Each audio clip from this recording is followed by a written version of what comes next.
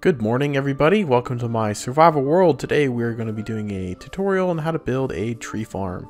This is a survival tree farm. It is a manual tree farm, so that means there is no redstone, no nothing. All you need is an axe and some saplings. This tree farm is nice because it's compact, gives you a lot of wood, lots of apples and sticks as well. Also works as an apple farm.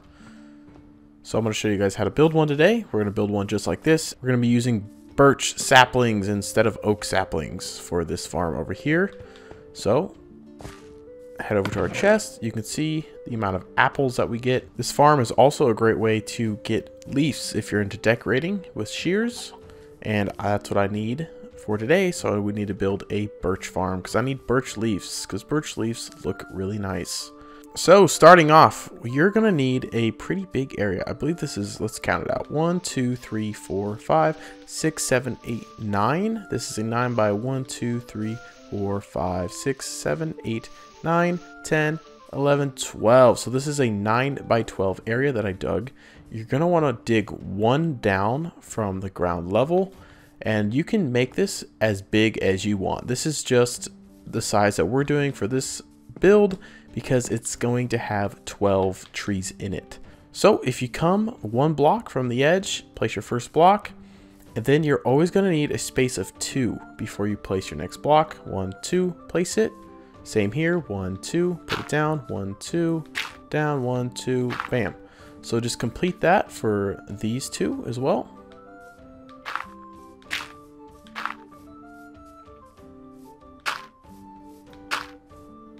Okay, so now that we have all those in there, the next part you want to do is go eight blocks up from this block. So we're going to start here, and we're going to go one, two, three, four, five, six, seven, eight. And here, you just need to put a block. I decided to put in slabs, stone slabs.